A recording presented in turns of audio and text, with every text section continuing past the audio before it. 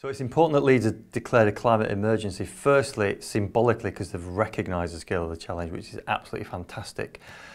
For municipalities to get on board with a big global debate about what we're really up against. But secondly, it sets the tone for the scale of practical public policy action. So it means that the councillors and the officers are now focused on completely changing the way of life in Leeds to tackle the severity of the climate and ecological emergency, which is all hats off to them democratically.